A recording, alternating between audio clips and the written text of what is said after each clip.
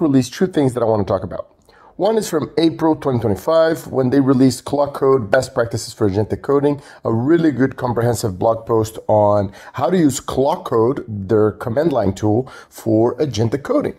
Uh, this post covers essentially tricks to uh, use proven effective uh, strategies for using Claude Code to do various things, uh, working on code bases, languages, and environments, and so on.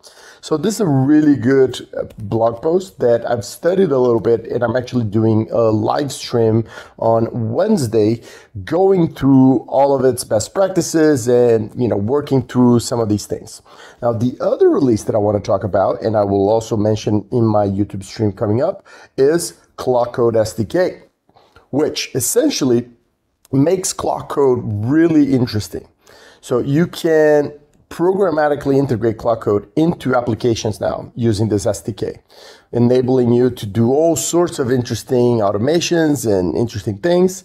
Now, I've been using the LLM CLI for a while, but I really want to dive deep into how to use this SDK now to do things like, for example, running single prompts, uh, using pipe, I've been using the LLM CLI by Simon Willison, so I want to see and compare how this compares to that.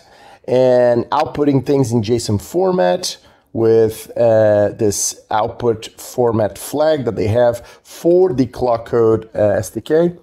And those things and more will be covered in my upcoming stream. So check it out coming up in June 18th on Wednesday at 3 p.m.